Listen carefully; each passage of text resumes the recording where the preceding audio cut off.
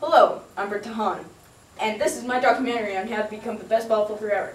It's going to take years on how to be master, but this one only takes a few months. So don't worry, it's going to be the best. Don't worry, you're all going to be great. You're going to be great in a few years. Anyway, just watch. These are four easy steps on how to become the best ball in the entire world. And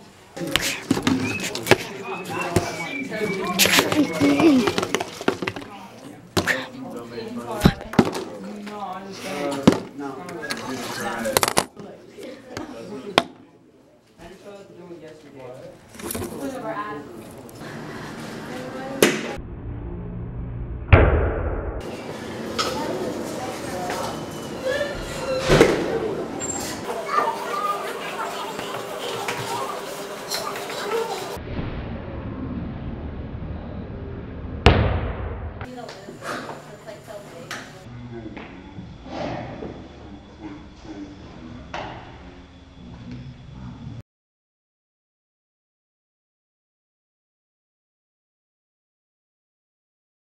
you trying to be the best bottle flipper in the entire world?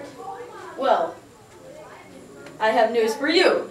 You're not going to be the best. You're going to be probably be good, but you're not going to be the best. Let's just say that, okay?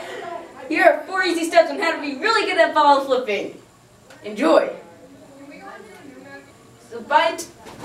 Oh, crap. Crick.